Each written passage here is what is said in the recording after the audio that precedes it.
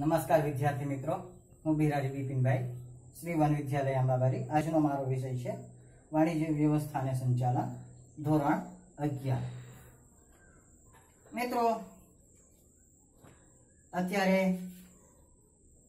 આજે Covid nineteen ચાલુ રહ્યું છે ત્યારે ગુજરાત શિક્ષણ બોર્ડે આપણને ત્રીસ ટકા અભ્યાસક્રમ ઓછો કર્યો છે. એમાં થોડાક ચેપ્ટરોમાં થોડા મુદ્દાઓ બાદ કર્યા છે અને બે ચેપ્ટરો આખે આખા રદ કર્યા છે. એમાં ચેપ્ટર નંબર સાત, જાહેર ક્ષેત્ર, ખાનગી ક્ષેત્ર અને વૈશ્વિક સાહસો એ આખું રદ કર્યું છે. બીજું ચેપ્ટર નંબર અગિયાર, ધંધાની સામાજિક જવાબદારી એ પણ આખું ચેપ્ટર રદ કર્યું છે. મિત્રો, આજે આપણે ધંધાકીય વ્યવસ્થાના સ્વરૂપો. નંબર બે એ જોવાનું છે. એના આગલા ચેપ્ટરમાં ભાગીદારી નું કરારનામું અને ભાગીદારના પ્રકારો એ રદ કર્યા છે પાંચમા ચેપ્ટરમાં. આ ચેપ્ટર આખે આખું છે. એમાંથી કંઈ રદ કર્યું નથી.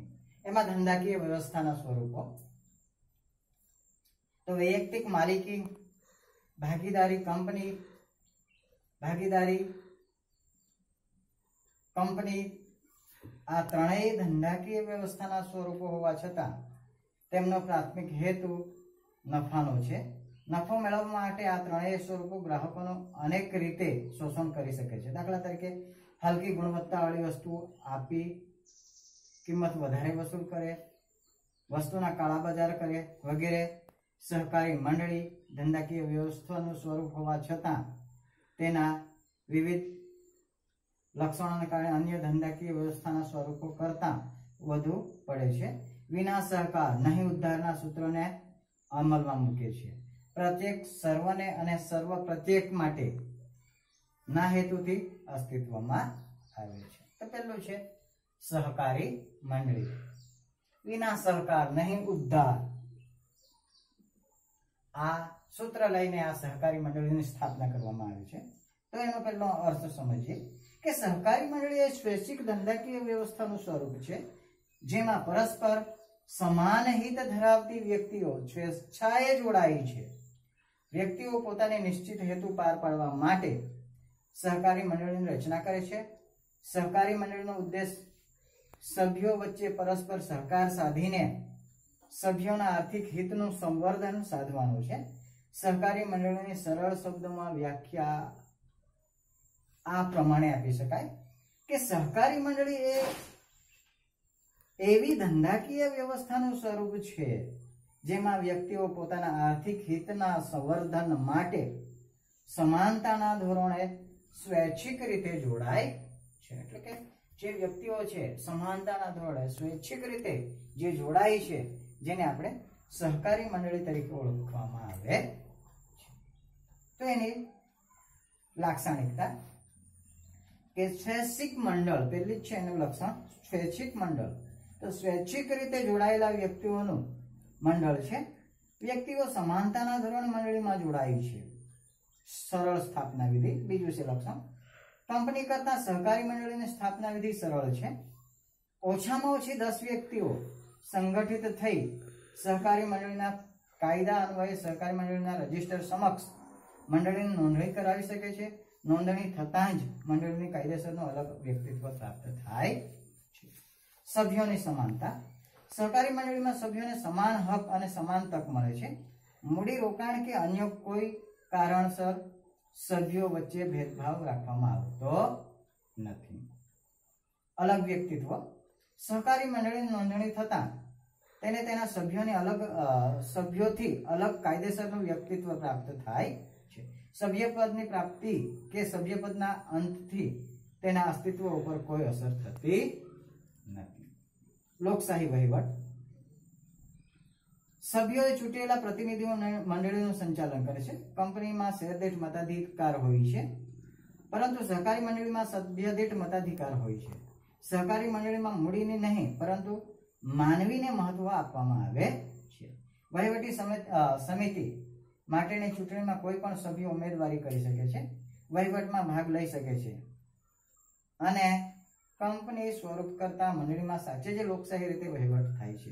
આથી સહકારી મંડળીને લોકશાહીની તાલીમ શાળા કહેવામાં આવે સેવાઓનો મુખ્ય હેતુ. સહકારી મંડળીનો મુખ્ય હેતુ સભ્યોની સેવા સેવાનો છે. નફાનો હેતુ ગૌણ છે. સેવાનો હેતુ દ્વારા સભ્યોની આર્થિક ઉત્કર્ષ કરવાનો છે. સભ્યોનું જીવન ધોરણ ઊંચું આવે અને તેનો, તેઓ સ્વાશ્રયી બને તે માટેનો પ્રયત્નો સહકારી મંડળી કરે છે. દાખલા તરીકે ગ્રાહકોની સહકારી મંડળીનો ઉદ્દેશ સભ્યોને યોગ્ય ગુણવત્તાવાળી વસ્તુઓ વાજબી કિંમતે પૂરી પાડવાનો છે. નફાની યોગ્ય વહેંચણી. કે મુખ્ય હેતુ સેવાનો હોવા છતાં આવકનો વધારો થાય તો આવો નફો મંડળીના સભ્યો વચ્ચે કાયદાની જોગવાઈઓને આધીન રહી ડિવિડન્ડ તરીકે વહેંચવામાં આવે છે. બાકી વધતો નફો સભ્યો કે સમાજના કલ્યાણ માટે વપરાય છે. શેરની ઓછી કિંમત. સહકારી મંડળીના શેરની કિંમત ઓછી હોવાના કારણે ઓછી આવક ધરાવતી વ્યક્તિ પણ શેર ખરીદી મંડળીનો સભ્ય થઈ શકે છે. કેટલીક વખત શેરની રકમ એક સામટી ભરવાના બદલે હપ્તાથી ભરવાની સગવડ પણ સભ્યને આપવામાં આવે છે. સભ્ય દીઠ મતાધિકાર. મંડળીમાં સભ્ય ગમે તેટલી સંખ્યામાં શેર ધારણ કરતો હોવા છતાં એક જ મત આપી શકે છે. સભ્ય દીઠ એક મતનો સિદ્ધાંત મુજબ પ્રતિનિધિઓ ચૂંટાય છે. સભ્યોમાં સમાનતા અને ભાઈચારો વધે અને તેમના જ્ઞાનમાં વૃદ્ધિ થાય તે માટે મંડળી, પરિષદ, તાલીમ વર્ગનું આયોજન કરે છે. રાજકારણ અને ધર્મથી અલિપ્ત સંસ્થા. સહકારી મંડળીમાં ધર્મ, જ્ઞાતિ અને જાતિના ભેદભાવ વગર દરેકના માટે સભ્યપદ ખુલ્લું હોય છે. ધર્મ કે રાજકીય સિદ્ધાંતો પ્રમાણે મંડળી હોઈ શકે નહીં. આથી સહકારી મંડળી રાજકારણ અને ધર્મથી અલિપ્ત હોય છે. અનિયંત્રિત સભ્ય સંખ્યા, વધુને વધુ મંડળી વ્યક્તિઓ મંડળીમાં સભ્ય બની તેમના આર્થિક હિતોનું સંવર્ધન કરી શકે તે ઉદ્દેશથી સભ્ય સંખ્યા ઉપર નિયંત્રણ નથી. એના ફાયદા. એક તો સરળ સ્થાપના વિધિ, બીજું કાયમી અસ્તિત્વ, ત્રીજું ખુલ્લું સભ્યપદ ચાર, સભ્યોની મર્યાદિત જવાબદારી, પાંચ, સરકારી સહાય, છ લોકશાહી વહીવટ સાત ઓછો વહીવટ ખર્ચ, નિશ્ચિત ગ્રાહક વર્ગ, વેપારી સંસ્થાઓ સામે સભર હરી સમાજ માટે કલ્યાણકારી પ્રવૃત્તિઓ, લોકશાહીની તાલીમ શાળા, સભ્યોની આર્થિક ઉત્કર્ષ અને વિકાસ. તો મિત્રો, પહેલામાં પહેલો ફાયદો છે કે સરળ સ્થાપના વિધિ. એની સ્થાપના વિધિ ખૂબ જ સરળ હોય છે. કાયમી અસ્તિત્વ. કોઈ પણ સભ્ય એમાંથી નીકળી જાય, છતાં પણ મંડળી બંધ થતી નથી. એટલે એ કાયમી અસ્તિત્વ ધરાવે છે. ખુલ્લું સભ્યપદ એમાં ગમે તેટલા સભ્યો સભ્ય બની શકતા હોય છે. સરકારી સહાય. કે એમાં સરકાર પણ સહાય કરતી જોવા મળે છે. લોકશાહી વહીવટ એમાંથી જ પ્રતિનિધિઓ નમ- નીમવામાં આવે છે અને એની લોકશાહી રીતે વહીવટ કરવામાં આવતો હોય છે. નિશ્ચિત ગ્રાહક વર્ગ ઓછામાં ઓછો વહીવટ ખર્ચ કે સભ્યોના ઉત્કર્ષ માટે મંડળી સ્થાપવામાં આવતી હોય એટલે વહીવટી ખર્ચ એનો ખૂબ જ ઓછો જોવા મળે.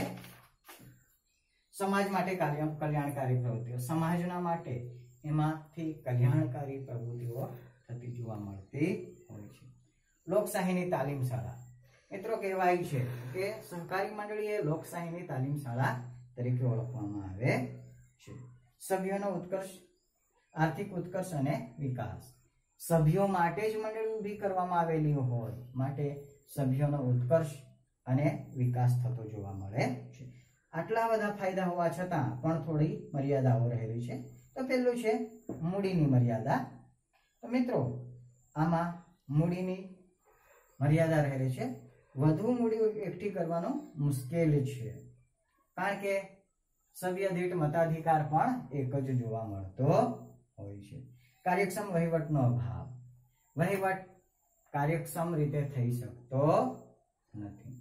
રાજકીય હસ્તક્ષેપ. મિત્રો વિવિધ રાજકીય પક્ષો મંડળી ઉપર પોતાનું વર્ચસ્વ મેળવવા માટે પ્રત્યક્ષ કે પરોક્ષ રીતે પ્રયત્ન કરતા હોય છે. મંડળી રાજકીય અસર નીચે કામ કરે ત્યારે ધંધાકીય સ્વતંત્રતા જોખમાય છે. પરિણામે લોકશાહીના મૂલ્યો જોખમાતા જોવા મળે છે. સભ્યો વચ્ચે અસહકાર. મંડળીના સભ્યોમાં વફાદારીનો અભાવ હોય છે.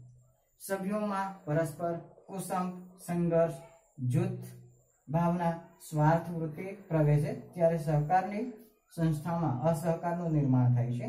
આ બધાના પરિણામે સહકારી મંડળી સમાન હિત ધરાવતી વ્યક્તિઓનું સંગઠન હોવા છતાં સહકારના સહકારના લાભ મેળવી શકતી નથી. તો મિત્રો, આ રહી સહકારી મંડળી. એના પછી આપણે સંયુક્ત હિસ્સાવાળી કંપની એના પછીના વિડીયોમાં જોઈશું.